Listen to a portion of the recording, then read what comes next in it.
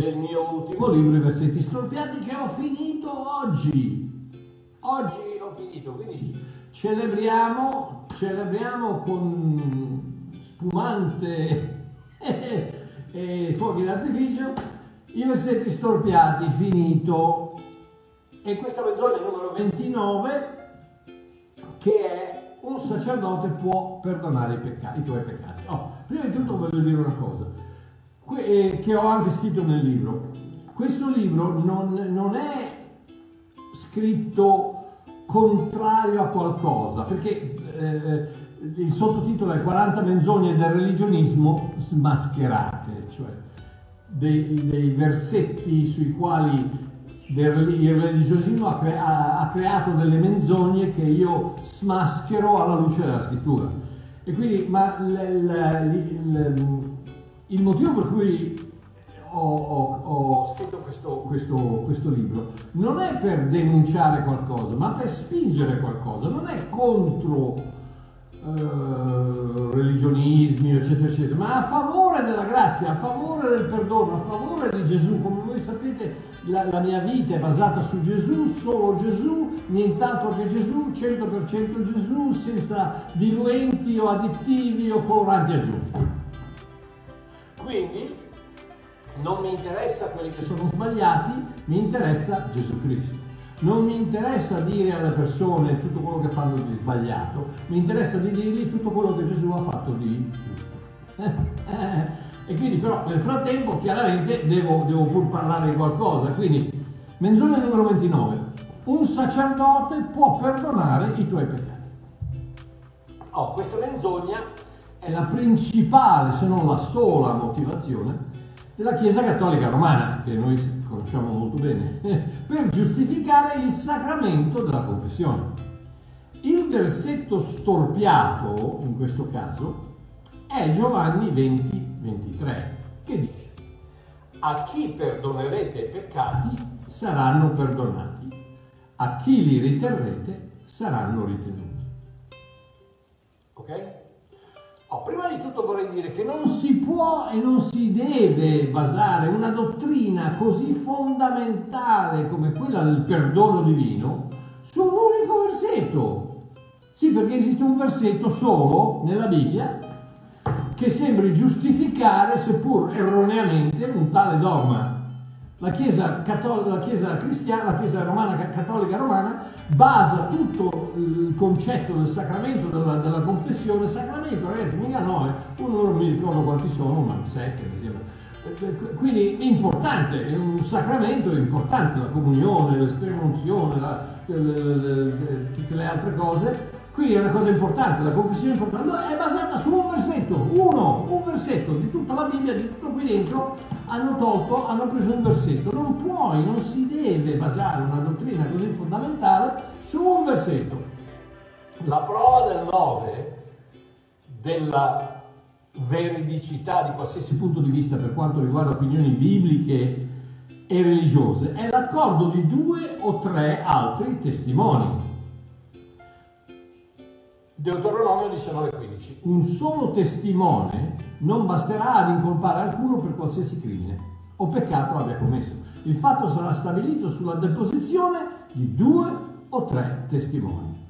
Quindi, tutta, tu, quando tu fai un, un, un, quando tu basi un dogma o una dottrina su, un, su una, scrittura, una, scrittura, sarà meglio che ne hai due o tre o quattro o cinque o sei che le, che le confermano. Non puoi partire con un versetto che dice allora tutta la, tu, ho 99 versetti che dicono una cosa, però ce n'è uno che dice l'opposto. Allora io creo la dottrina su quello. E la confessione, il sacramento della confessione è basato appunto su una cosa del genere.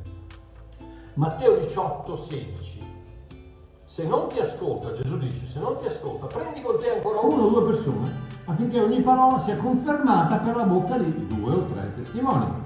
2 Corinzi 13.1 Ogni parola sarà confermata per la bocca di due o tre testimoni. Proprio come ho fatto nel caso di questa mia ultima dichiarazione, dichiarazione ho, ho citato tre versetti a conferma del concetto. Quindi io cerco sempre di chiamare in giudizio almeno due versetti Quindi una dottrina importante come quella della confessione dei peccati dovrebbe avere almeno due o tre versetti a ratificare la sua validità e invece ce n'è uno solo. sì, avete, avete, sentito giù bene, uno solo. Oh, si potrebbe anche menzionare a proposito Giacomo 5,16 che dice confessate i vostri falli gli uni agli altri e pregate per gli uni per gli altri. Ma questo parla di falli, non di peccati, due parole completamente diverse nel greco originale. E poi dice eh, confessateli gli uni agli altri, vuol dire tra di voi, per cercare aiuto e preghiera, non di confessare i tuoi peccati a un sacerdote o a tantomeno a Dio. Questo è un versetto che dice quando tu hai un problema, quando tu stai peccando, quando tu stai fallendo, quando tu parapipto, che non è amartia, amartia è peccato, parapipto è un, un errore, un, un, una sbandata, eh, quindi dice confessa le vostre sbandate gli uni agli altri. Quindi tu hai un problema con la pornografia, chiami eh, un fratello cristiano di cui ti può fidare e gli dice prega per me perché ho questo problema. Questo è quello che vuol dire Giacomo 5, 16. C'è un versetto solo che è quello che abbiamo letto in Giovanni, dove Gesù dice se, se li riterrete saranno ritenuti, se li perdonate saranno perdonati. Oh, quindi il, il, il, concetto non è quello di creare, di, di, basare una tale dottrina su un versetto solo, eppure approssima, approssimativamente un miliardo e mezzo di credenti. Poi ragazzi, mica, mica la chiesetta evangelica di, di, di 25 persone che poi due se ne vanno perché No, un miliardo e mezzo di credenti romani cattolici credono che i loro peccati possono essere perdonati da un sacerdote. Un uomo, un peccatore come loro, seduto in una scatola di legno, da dietro una tendina di stoffa. Pazzia, tristezza tremenda.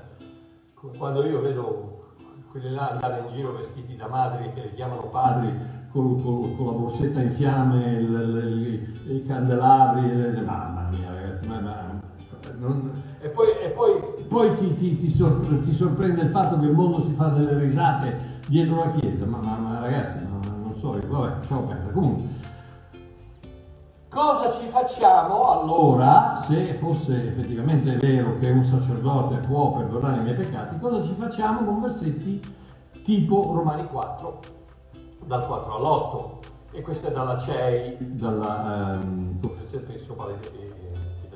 A chi lavora il salario non viene calcolato come un dono, ma come debito. A chi invece non lavora, ma crede in colui che giustifica l'empio, la sua fede gli viene accreditata come giustizia. Così anche Davide proclama, beato l'uomo a cui Dio accredita la giustizia indipendentemente dalle opere Beati quelli le cui iniquità sono state perdonate e i peccati sono stati ricoperti. Beato l'uomo al quale il Signore non mette in conto il peccato. Oh, Efesini 1,7. In Lui, in Cristo, abbiamo la redenzione mediante, abbiamo, voce del verbo abbiamare, voce del verbo avere, ce l'ho adesso, abbiamo la redenzione mediante il suo sangue. Non ce l'avrò, ce l'abbiamo, ce l'ho adesso la redenzione mediante il suo sangue, il perdono dei peccati secondo le ricchezze della sua grazia. Colossesi 2, 13 e 14. Voi che eravate morti nei peccati e nella incirconcisione della vostra carne, voi dico, voi Dio vi ha vivificati con Lui, perdonandoci tutti i peccati. Voi ragazzi è difficile, bisogna conoscere il greco per capire una cosa del genere perdonandoci, ci ha vivificati. Dio ci ha vivificati in Cristo perdonandoci tutti i peccati, avendo cancellato il documento a noi ostile, i cui comandamenti ci condannavano e l'ha tolto di mezzo inchiodandolo alla croce. Noi vogliamo i dieci comandamenti nelle, nelle, nelle aule, nelle scuole, nelle, nelle aule, di tribunale, eccetera, e, e, e Dio le ha inchiodate alla croce. Ah, andiamo avanti. 1 Giovanni 2,12. Figlioli, vi scrivo perché i vostri peccati sono perdonati in virtù del suo nome. Voi ragazzi, ma qui bisogna studiare, eh, perché bisogna cap- cercare di capire le nuance, i significati nascosti di una frase del tipo i vostri peccati sono perdonati. Non cosa ci vuole capire una cosa del genere. I vostri peccati sono perdonati in virtù del suo nome e tanti, tanti, tanti altri. Vedete la follia, la follia di prendere un versetto fuori contesto e crearci sopra una dottrina deleteria come quella della confessione. Perché dico deleteria? Perché questa menzogna toglie la potenza del perdono dei peccati al sangue di Cristo. L'unico mezzo poterlo ottenere, Ebrei 9:22, senza il versamento di sangue non c'è il perdono dei peccati. Lo toglie dal sangue di Cristo e lo mette nelle mani di un uomo vestito di nero che non è neanche riuscito ancora a scaricarsi di dosso i suoi peccati. Ma pazzia, ragazzi, sì, sì, totale pazzia. Eppure, qualsiasi cattolico romano che si rispetti corre immediatamente a Giovanni 20-23 nel momento in cui si mette in dubbio il sacramento della confessione. Fidati, lo so che mi arriveranno di quelle pietrate, ragazzi, già sento, già sento i fischi dal Sudafrica, stanno partendo dall'Italia, i missili che stanno arrivando, ragazzi, perché ma come li permetti, dici le fesserie, sei contro, me l'hanno detto di tutti, di di più, vabbè, non importa, comunque andiamo avanti perché intanto il mio compito non è quello di convincere nessuno, il mio compito è quello di presentare la verità come io la vedo e come io la credo. Poi dipende da te, o credi a me, o credi all'omino vestito di nero nella, nella scatola di legno dietro la tendina che ti dice eh, confessi i tuoi peccati e, e, e, poi ti do due Padre Nostro, tre Ave Maria e, e quattro eh, pacchi nel sedere, non so, non mi ricordo, eh, io ero, eh, facevo quelle cose quando avevo, quando avevo 12 anni, quindi eh, non mi ricordo bene. Quindi, allora, ma vediamo allora, alla luce di tutte le tante scritture che confermano il perdono per grazia di Dio e non per confessione di uomo, cosa poteva voler dire il nostro Signore quando fece quella dichiarazione ai suoi discepoli, che sembra, a, a prima vista, sembra voler dire appunto quello. Ma come vi ho detto, prima di tutto, la prima cosa che dovete controllare è ci sono altre, degli altri versetti, delle altre scritture che la confermano, perché se ce n'è una sola non vale anche se fosse chiara, chiarissima, anche se fosse nel contesto tutto quanto, non vale perché è dalla bocca di due o tre testimoni che ogni verità sarà stabilita. Ok, quindi andiamo avanti. Prima di tutto, controlliamo il contesto, leggendo un paio di versetti prima e un paio di versetti dopo. Giovanni 20, dal 19 al 23. Ora, la sera di quello stesso giorno, il primo della settimana, mentre le porte del luogo dove erano radunati i discepoli, erano, stasera, eh, la domenica è il primo giorno della settimana, eh, per cui eh, era domenica sera. La sera di quello stesso giorno, il primo della settimana, mentre le porte del luogo dove erano radunati i discepoli erano serrate per paura dei giudei, Gesù venne e si presentò là in mezzo e disse loro, Shalom, pace a voi.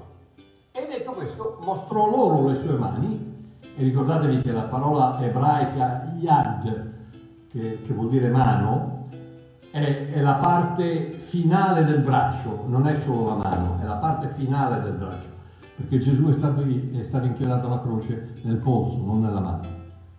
Ok? Mostrò le sue mani e il costato. I discepoli dunque, vedendo il Signore, si rallegrarono, eh, eh, spero. Poi Gesù disse di nuovo a loro, Shalom, pace a voi. Come il Padre ha mandato me, così io mando voi. E detto questo, soffiò su di loro e disse, ricevete lo Spirito Santo. E qui viene la famosa frase, a chi perdonerete i peccati saranno perdonati, a chi li riterrete saranno ritenuti. Okay. Troviamo una scrittura molto interessante a questo riguardo in Ebrei 10, dal 14 al 18. Con un'unica offerta, infatti, egli ha reso perfetti per sempre coloro che sono santificati. E ce ne rende testimonianza anche lo Spirito Santo, aggiungendo, e non mi ricorderò più dei loro peccati e delle loro iniquità. Ora, sentite sentire, dove c'è il perdono di queste cose, di questi peccati, non c'è più offerta per il peccato. Cos'è, cos'è l'offerta del, del, sacramento della confessione? La penitenza. Devi fare qualcosa, giusto? E la, e la, Bibbia dice dove c'è il perdono, che abbiamo appena visto, con un'unica offerta infatti è reso perfetti per sempre coloro che sono santificati, ce ne rende testimonianza anche lo Spirito Santo, aggiungendo non mi ricordano più dei loro peccati e delle loro iniquità. Ora dove c'è il perdono di queste cose non c'è più offerta per il peccato. Ok, allora, uno, primo, l'offerta per il peccato è stata unica, quindi non bisogna andare a chiedere scusa sia direttamente a Dio o attraverso la mediazione di un sacerdote ogni volta che si pensa di aver peccato. L'offerta per il peccato è stata una volta per sempre. Basta, finito. Non è che ogni volta che pecchi devi andare a chiedere perdono, perché se quello fosse il caso, Gesù dovrebbe scendere dal trono, andare sulla croce, versare il suo sangue un'altra volta e dire ok papà, perdonalo perché ho versato il sangue, perché senza il versamento di sangue non c'è perdono del peccato. Ragazzi, non mi sembra difficile, no? Se non versi sangue non c'è perdono del peccato. Quindi se tu non sei stato perdonato una volta per sempre, una sola volta per sempre dal sangue versato da Gesù Cristo sulla croce duemila anni fa, ogni volta che pecchi chiedi perdono Gesù deve versarlo un'altra volta. E questo no, no, non credo. Due secondi. Il sacrificio di Gesù Cristo sulla croce ha reso perfetti per sempre coloro che sono santificati. Tutte coniugazioni che parlano di fatto compiuto, concluso, fatto, compiuto, finito, calà, tetele stai, non c'è più niente da aggiungere, non c'è più niente da modificare, è stato fatto, ha reso perfetti per sempre coloro che sono santificati. Ah, terzo, è proprio lo Spirito Santo, lo stesso Spirito che Gesù ha soffiato sui suoi discepoli che fa la dichiarazione non mi ricorderò più dei loro peccati e delle loro iniquità. Quindi stiamo, stiamo parlando de, dello Spirito di Dio che fa una dichiarazione e dice non mi ricorderò più dei loro peccati e delle loro iniquità. Ogni volta, fammi sentire, ogni volta che vai dal sacerdote a confessarti o che vai da Dio a confessarti, nel senso che eh, 1 Giovanni 1,9 che voi sapete che io la chiamo la, sap- la saponetta del cristiano perché eh, ogni tanto bisogna darsi una lavatina, allora 1 Giovanni 1,9 ho peccato, perdonami, da da da da da da bagianate. No, non c'entra niente. 1 eh, Giovanni 1,9 non è scritta ai cristiani, non è scritta ai credenti, comunque non è quindi ogni volta che tu o vai dal sacerdote a, a fare la confessione o vai da Dio a chiedergli, a chiedergli di perdonarti, tu stai dicendo Dio sei bugiardo. Marchiò, come? Come? Io no, non dico quello. Eh sì, perché lui ti dice non mi ricorderò più dei tuoi peccati e delle tue iniquità e tu gli dici ho peccato. E lui dice io non me lo ricordo e tu gli dici sì ma io ho peccato. Ma ti ho detto che non me lo ricordo e tu gli dici sei un bugiardo perché te lo ricordi. Ecco perché devo chiederti perdono. Vedete che tristezza che è il religionismo? No, quarto, la Bibbia, la Sacra Scrittura, la parola scritta di Dio, non gli uomini, non la denominazione ecclesiastica, non la tradizione romana, né le dottrine create ad hoc da un collegio di uomini vestiti con gonne rosse e pizzi bianchi No, la Bibbia dice dove c'è perdono di queste cose non c'è più offerta per il peccato. La parola originale per offerta è prosfora, che significa sacrificio, oblazione, obolo, offerta di penitenza. Ragazzi, non ho nient'altro da aggiungere dove c'è il perdono di queste cose non c'è più penitenza per il peccato. E noi andiamo nel gabbiottino e diciamo eh, eh, ho fatto questo, eh, ho fatto, eh, e lui dice ok, tre Ave Maria, quattro Padre Nostro, 18 credo eh, e eh, dipende da quello che fa. Mm, ok. Ma allora Mario cosa voleva dire il Signore? Ora, ok. Vediamo un altro caso dove si mette in questione il potere dell'uomo di perdonare i peccati. Ok? proprio come sto facendo io adesso, però da un punto di vista diverso. Matteo 9, dal 2 al 7. Ed ecco, gli fu presentato un paralitico disteso sopra un letto e Gesù, state a sentire bene, Gesù, vista la loro fede, disse al paralitico, figliolo, fatti animo, i tuoi peccati ti sono perdonati.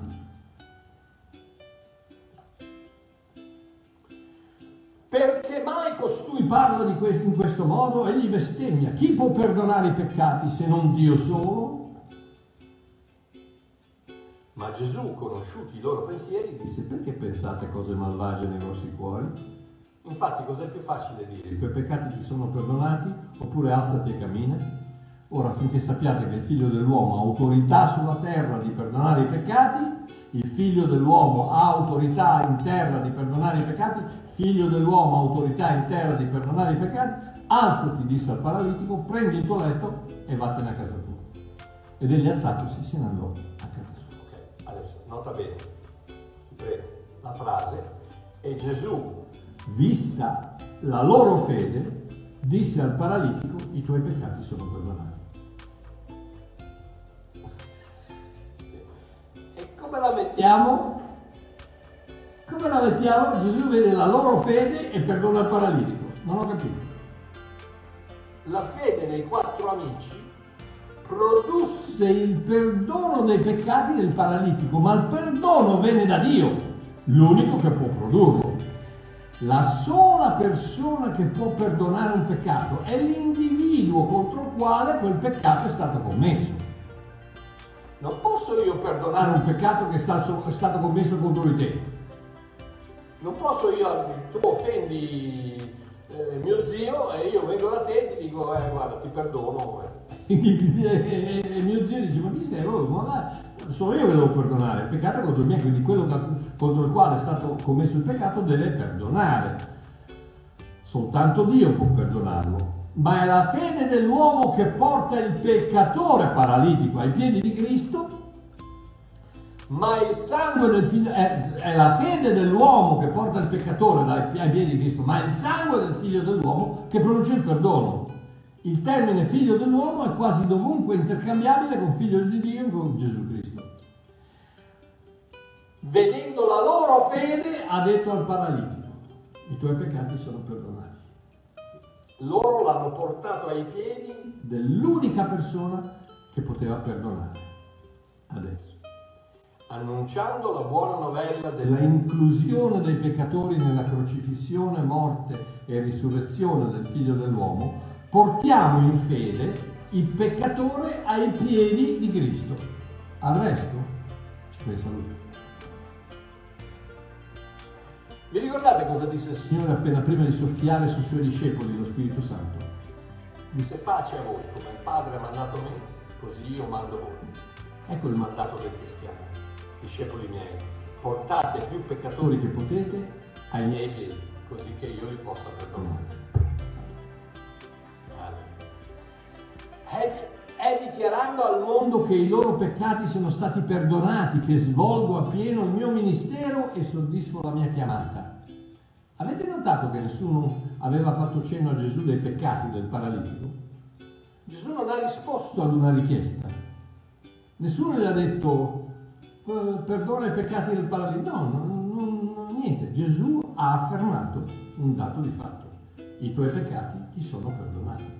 Amore mio, tu che stai guardando adesso, a te che è stato detto che stai peccando perché fumi o perché hai i tatuaggi o perché vai in discoteca, e sono tutte cose sceme che non dovresti fare, ma comunque lasciamo perdere. A te che è stato detto che Dio adesso ha girato la faccia perché tu hai sbagliato o sei andato a letto con la, con la ragazza o hai fatto freddo, stammi a sentire, i tuoi peccati sono perdonati perché non sei tu che te lo devi meritare, è Cristo che ha versato il suo sangue per perdonare i peccati dell'umanità. I tuoi peccati non vengono perdonati perché tu chiedi perdono, i tuoi peccati vengono perdonati perché Cristo ha versato il suo sangue duemila anni fa al Calvario su una croce di legno. Amen.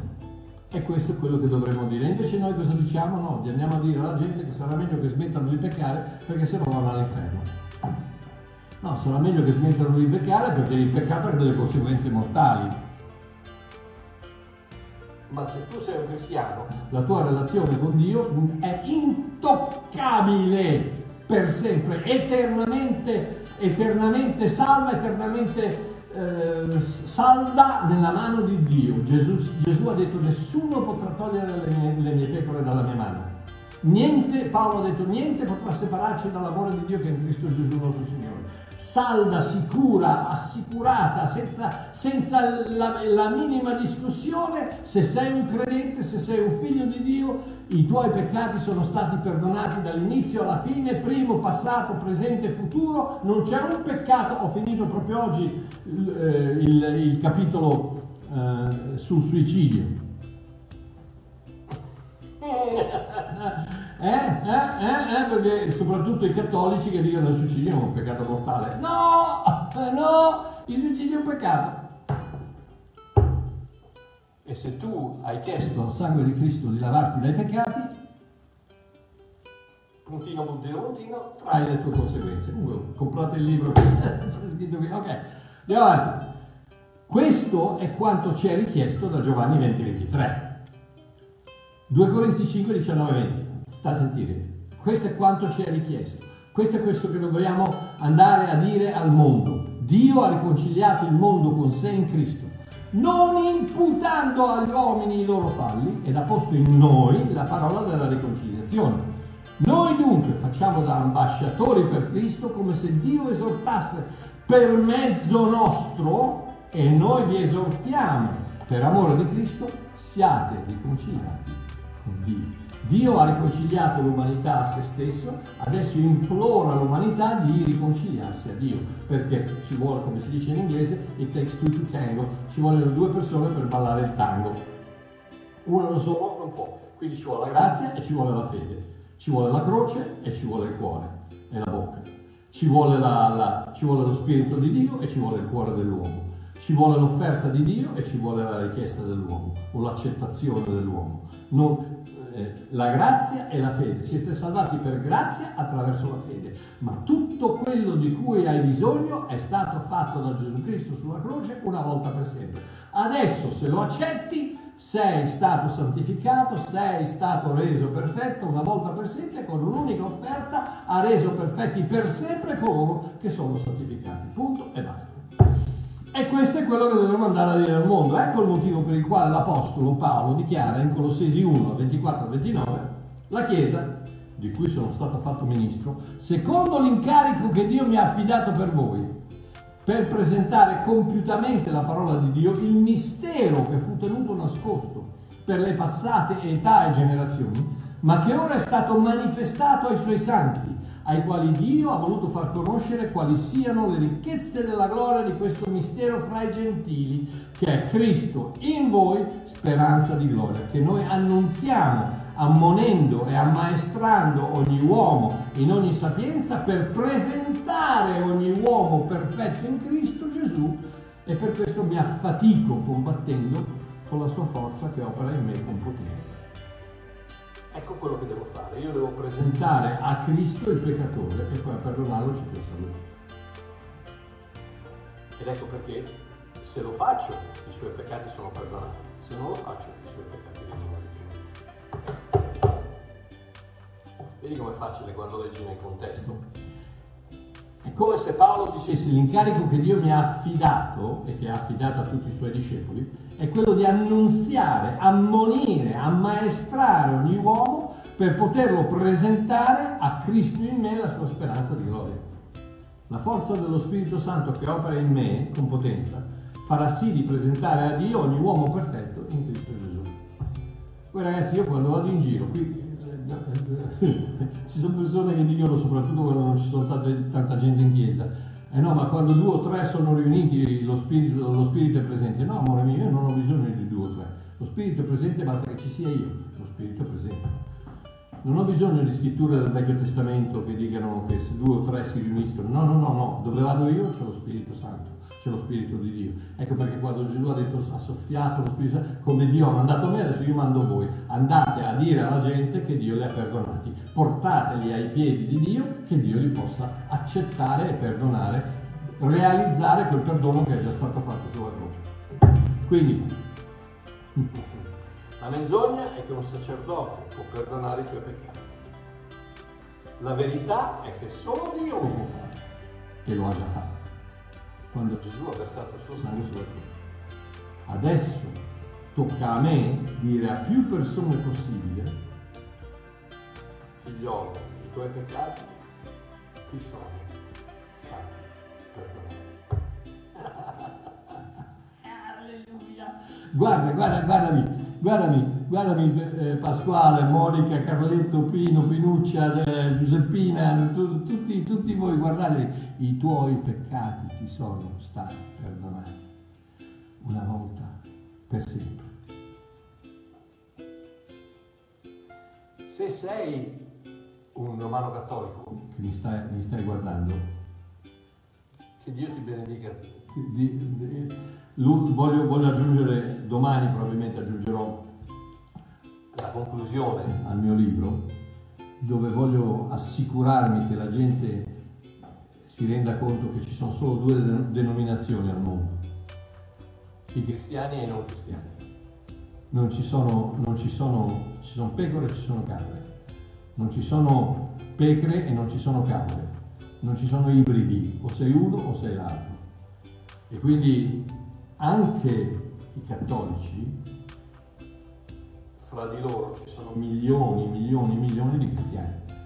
Poi ci sono quelli purtroppo che sono, sono impegolati nelle tradizioni, nelle superstizioni, nelle, nelle idiozie dei, dei, santi, dei non santi, delle madonne, delle madonne, dei sacramenti, del, del, del, dell'incenso, di tutte quelle cose strane lì, ma il cuore quello che conta ed è quello che Dio conosce. Se il cuore è per Dio, stammi sentire.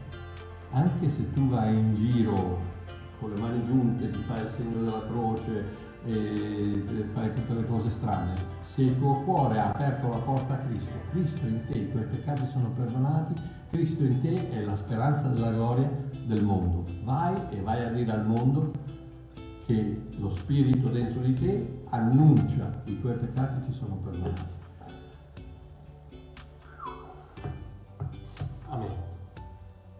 Abba papà, grazie, grazie, grazie, grazie, grazie. In questo momento ti prego se se, se, se, tu non hai mai sentito un messaggio del genere e, e, e ti senti come se un peso è stato tolto dalle tue spalle, ti chiedo, chiudi un attimo gli occhi e di questo con me.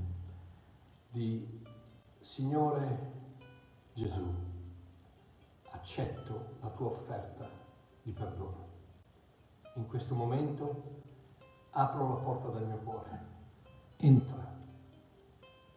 Fammi una nuova creatura, fammi rinascere, rigenera il mio spirito, così che tutti i miei peccati possano essere perdonati, così che io possa ricevere la vita eterna, che non finisce mai, non finirà mai, la tua vita, che io possa ricevere il perdono totale, eterno, e tirare uno spirito di sollievo, perché la, per quella salvezza che mi hai dato non la perderò mai. Ragazzi, che Dio vi benedica. Eh, probabilmente Walter vuole, che, vuole fare qualcosa in settimana, ve lo facciamo sapere, probabilmente mercoledì, ma vediamo. Altrimenti ci sentiamo domenica prossima. Un abbraccio, un bacione. Ciao belli.